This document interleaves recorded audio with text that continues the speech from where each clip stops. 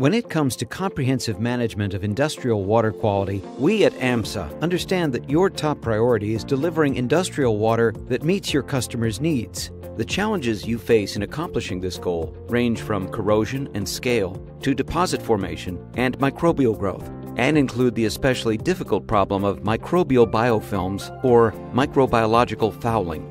Today, we would like to discuss why microbiological fouling control is such an important part of a comprehensive, effective water treatment program. Through research and field experience, we now know that biofilms can harbor corrosion causing microbes, accumulate minerals which initiate scaling, reduce heat transfer, and protect disease causing organisms such as Legionella. Consequently, we have come to understand that better microbiological fouling control will also result in more cost effective corrosion and scale control and overall improved fouling control. Most water treatment professionals use a combination of oxidizing and non oxidizing biocides in their microbiology control programs. With sufficient biocide, control of planktonic or free swimming bacteria in an industrial water system can usually be achieved.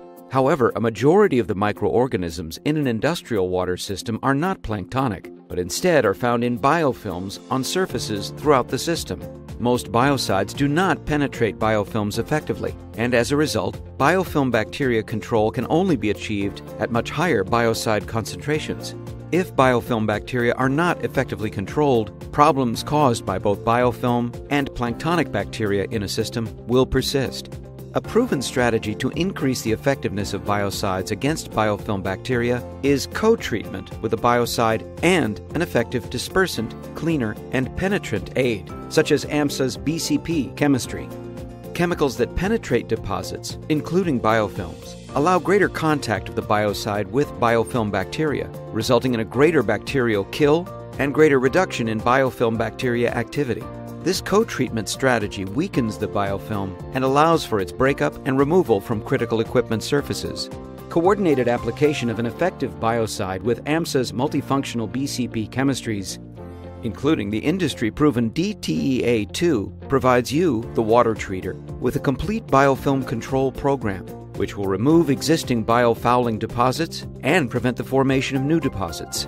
This clean it up and keep it clean approach means both improved and more cost effective biofouling control and enhanced corrosion and scale control.